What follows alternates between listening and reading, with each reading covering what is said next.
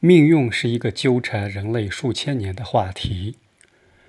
从古老的紫微斗数、生辰八字、面相、手相、骨相，到现代的血型、星座，五花八门的分析工具层出不穷、生生不息，反映了人们对于窥破命运密码的热切渴望。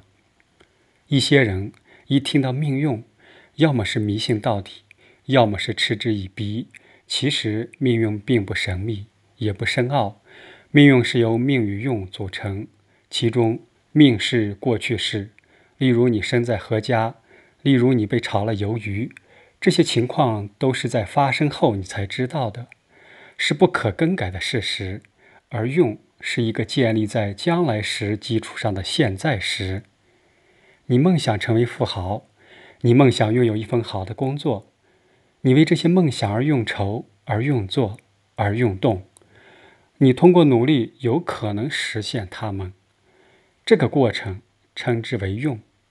你用的到位，就会有好用，也就是说，有好的命运。